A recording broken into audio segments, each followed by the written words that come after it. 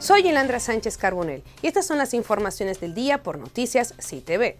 Aseguran que licitaciones y decisiones del Ministerio de Salud ha generado protestas y cuestionamientos.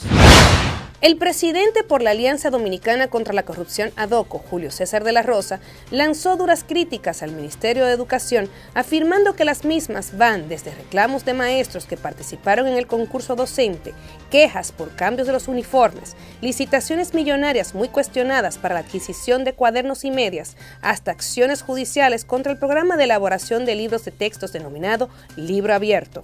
De la Rosa afirmó que a pesar de las declaraciones optimistas del ministro de Educación, Ángel Hernández, sus recientes decisiones administrativas han generado un debate candente. El abogado manifestó que una de las medidas más controvertidas que se han tomado ha sido la unificación del color de los uniformes escolares en el sistema público, anunciada a través de la Orden Departamental 19-2023, con un costo de aproximadamente 2 mil millones de pesos. 2 mil millones de pesos solo los uniformes. Yo no me quiero imaginar las demás licitaciones.